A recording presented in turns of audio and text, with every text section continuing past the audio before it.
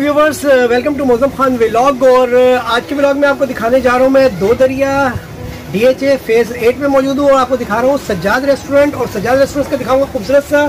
रात का एम्बियंस और uh, आपको दिखाऊँगा कुछ बोट्स तैर रही हैं समंदर के अंदर, वो भी आपको दिखाने वाला हूँ। बाकी इस वक्त ये जो आप देख रहे हैं, ये बर्थडे सेटअप है, इनका बेसिकली जो डेकोर किया गया है, मैं आपको इसको डिटेल में भी दिखाता हूँ।